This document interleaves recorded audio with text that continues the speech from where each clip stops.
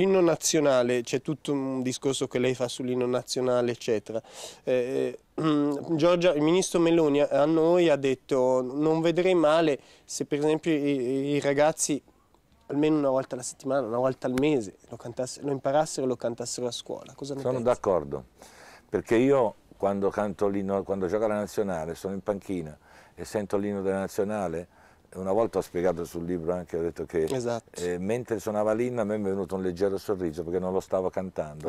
Perché mi è venuto un leggero sorriso? Perché ho pensato, adesso i vari soloni diranno, ah da Lippi non gliene frega niente, se sapessero quello che mi sta passando in questo momento nel cuore e nel cervello, e, e mi è venuto da sorridere, no? e, e sono assolutamente d'accordo. Io le sensazioni che provo, adesso lo canto, a volte lo canto, a volte no, ma non è quello il problema ma eh, le sensazioni che provo eh, quando sento l'inno sarà perché sono CT della nazionale, ma sono, sono, sensazioni fantastiche e secondo me eh, vedere tutti questi bambini, mi è capitato di andare in tante scuole dopo i mondiali no? e, e, quando sono arrivato certo. i bambini che cantano l'inno, è una bella cosa, una bella sensazione, certo, sarei d'accordo che in, in determinate circostanze se lo cantassero e lo imparassero prima di tutto sarebbe una cosa bella. Senta, la Toscana è, ci sono inchieste in corso, non entriamo nel merito delle inchieste, non ce ne frega niente, però sicuramente eh, non, tutte queste indagini eh, non danno una bella immagine della politica, sia che sia di destra sia che si, di, che si sia di, di centro-sinistra, anzi in Toscana riguardano più il centro-sinistra, premesso che sono solo inchieste, la gente non è ancora stata condannata, lei ne, ne sa qualcosa delle, delle condanne via giornali o via Detto processi questo, mediatici. i processi mediatici, eh, come toscano, come ha vissuto questi, queste vicende? Ma no, ma la Toscana, eh, questa è, è una sana. vicenda di oro, la Toscana, eh, io faccio sempre, l'ho fatto nel momento di Calciopoli, l'ho fatto sempre, mi sembra calzante come esempio. Prego. Se abbiamo una forma di formaggio in cantina, di pecorino toscano, di quello buono, e magari prendo un pochettino di muffa, non è che la buttiamo via, no? Io la vado a prendere, prendo un coltellino, levo la muffa e poi me lo mangio perché è talmente buono. Ecco lì, è, è, è il discorso de, del buono e del cattivo che c'è in tutte le categorie. Nessuno pensa che in Toscana ci siano tutti angeli e tutti certo, santi. Certo. Magari ogni tanto verrà fuori che c'è anche qualcuno che che non, è, non, la pensa nella maniera giusta, però credo che sia... Cioè non se, generalizziamo. Se, non generalizziamo, semmai che non ci sono persone di grande qualità, da sempre ce l'ha insegnato la storia. Però sarebbe semplicistico dire tutta la classe dirigente toscana è da buttare, se ho ben capito. Direi, però, Solo direi, perché c'è qualcuno direi, che vale è stato un po' leggero. Questo, vale per questo, su... a, parte, a parte il fatto che poi deve essere dimostrato che queste chi sì, l'ho premesso, eh. deve essere dimostrato. Senta, questo Murigno eh, non ha mai allenato in vita sua, eh, non è un handicap? No, no, come non ha mai allenato? Non ha mai giocato, chiedo non scusa. Non ha mai giocato, sì, chiedo sì. Scusa. Eh, però eh, ci sono, visto che Pozzo, eh, Vittorio Pozzo è un allenatore abbastanza attuale perché è stato ricordato il, la striscia positiva certo. di Pozzo che io ho avuto certo. la fortuna di, di superare. Super. E, e lui addirittura era un giornalista e aveva anche un problema fisico fra l'altro Pozzo. Eh, altri allenatori grandi come per esempio Arrigo Sacchi non ha mai giocato a livello professionistico, ha giocato a livello dilettantistico e anche, anche Mourinho. Sì, non deve penso. diventare un. No, no, perché mm. specialmente, vede, specialmente... Ma vi sentite con Mourinho? Mourinho io lo conosco da, perché um, facevamo parte di un, di un, gruppo di allenatori mm. che si riuniva eh, frequentemente alla UEFA, a Nyon, mm. eh, perciò l'ho conosciuto in quell'ambito. Lui è un personaggio, un grande comunicatore, parla cinque lingue. Sì, affascinante. E, e chiaramente lui è quello che oggi eh, l'allenatore a seconda di dove allena eh, diminuisce eh, l'aggettivo allenatore e aumenta l'aggettivo istruttore oppure aumenta l'aggettivo gestore di uomini. Nelle grandi squadre eh, sei un po' meno allenatore, un po' meno istruttore e sei molto gestore di, di risorse umane mm. e, e, la personalità, la cultura, la saggezza, il carisma mm. che ha lui lo puoi avere anche se non hai giocato a grandi livelli calcistici. A, okay. Aver giocato a grandi livelli calcistici aiuta, perché? Perché eh, se hai giocato una grande squadra sai cosa significa la grande squadra, conosci la psicologia della grande squadra, sai come si ragiona quando si vince, sai come si ragiona quando si perde e ti aiuta, ma non è indispensabile. Non è assolutamente. Senta, da un sondaggio che abbiamo lanciato, e qui eh, chiudiamo poi una domanda finale. L'hai già detto otto volte.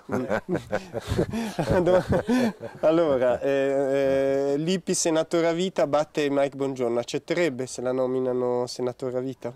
Senatore a vita... Lei batte Mike Bongiorno, cioè vogliono lei, non Mike Bongiorno, senatore capito, a vita. senatore a vita da, nella, da, in una parte molto... Più in là. Più in là Sa perché accetterei? Perché perché l'ha fatto l'avvocato Agnelli, allora certo. sarebbe un modo di omaggiare lui, di fare una cosa che Bello, ha fatto anche lui. Certo, poi io so che poi lei fa molta attività sociale, molta non la dice, è, alcuna si vede, alcuna non si vede, quindi sono certo che sfrutterebbe anche queste opportunità per, per i più deboli, giusto? Certo, certo. Posso metterglielo in bocca? Certo. Senta, una, eh, chiudiamo una autocritica di Marcello eh, Lippi, che cosa, eh, il rovello la, professionale, personale, quello che vuole lei. Cosa ha sbagliato Marcello Lippi nella vita? Ho sbagliato, ho pensato per tanto tempo di, di, es, di, di pormi male alle persone, mm. ai giornalisti per esempio, mm. non ho avuto mai un rapporto eh, buono, sempre litigato spesso, sempre offesi, mi è andata Con me non paese. ha litigato. No, con, con lei no, però con tanti sì. E lì per lì, e poi dopo però e, e, per tanto tempo sono stato convinto di, di sbagliare. No?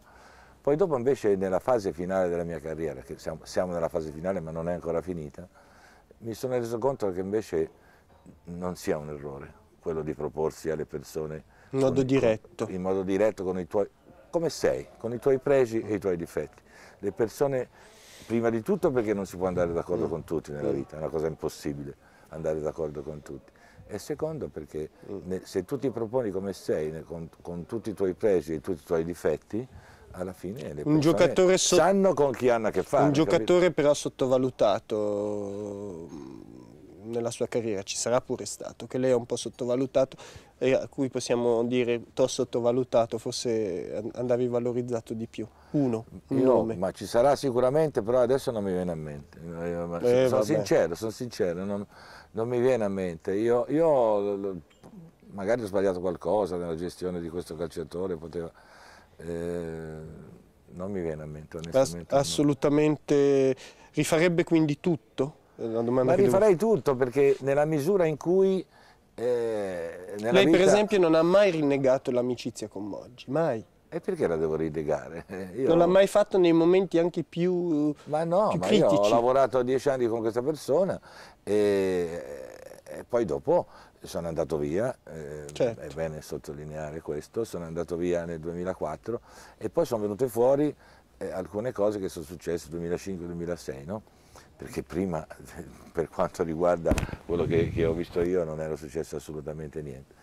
E, no, certo, è stato anche e di queste cose qua, io perché devo rinnegare l'amicizia? Con Luciano. Luciano Moggi una persona che era stimato da tutti, era stimato professionalmente, anche temuto. una persona temuta, perché era bravo nel suo lavoro, mm. tutti lo cercavano, tutti lo volevano, c'era la fila dei direttori sportivi, dei, dei Ma presidenti. sì, tutti lo volevamo, eh, eh, eh, lo volevamo la, tutti. Questa è la realtà. Poi dopo quello che è successo negli ultimi anni, mm. certamente... Da 1 a 10, che voto dà il nostro giornalismo sportivo, non il giornalismo in generale, che mi sembra sportivo, da 1 a 10? Ah, ehm... 6? No, 5? Gli do di più, di più. Quella. Di più. Gli do di più perché conosco, lo so, lo so, ma ho cazziato quelli scarsi. Quelli, quelli, mm. oh, conosco delle persone che hanno grandi qualità e perciò gli do di più, diciamo un 7. Mm. Eh, mm. Perché ci sono quelli che si occupano di sport vero e altri invece che si occupano di tante altre cose che non hanno niente a che fare. Ci sono ancora tanti che si inventano le notizie, un po' meno nel calcio. No, inventarsi no, non se le inventano, però le, le infiorettano talmente tanto mm, che, diventano... E, che, diventano... quasi false completamente, ma poveracci, bisogna, poveracci nel mm, senso sì, bisogna anche capire capirli. che oggi con, con, internet, con la televisione, con la, la, la, la istantaneità della, della notizia, la mattina dopo la carta stampata si trova a raccontare una notizia che tutti già conoscono, se non, se non viene infiorettata, se non viene condita, se non viene ampliata un pochino, okay. diventa difficile. Esatto, ehm, l'ultima cosa, allora parte il nuovo programma di Piero Chiambretti su Mediaset e so che lei eh, eh, ama l'umorismo, eccetera. Eh, gli, fac gli, facciamo gli auguri a Piero Chiambretti. Volentieri, è venuto una volta a fare un pezzo su quella trasmissione di Marchette che faceva lui, si è presentato con una parrucca di capelli bianchi e gli occhiali, per, ero uguale a me, no? un po' più basso. eh, perciò è una persona molto simpatica, molto valida e gli faccio un grande in bocca al lupo, non so che tipo di trasmissione farà. Sarà ironica, sui, lei ci sarà dentro nel senso che potrebbe sui numeri uno, quindi, eh, però il taglio sarà quello chiambrettiano. Ho capito, chiam ma lui credo che prima di tutto si prende in giro, perché per prendere in giro gli altri bisogna prima sapersi mm. prendere in giro. In Italia non la tironia. Grazie. Perciò in bocca al lupo. Grazie Marcello. Grazie a voi. Grazie.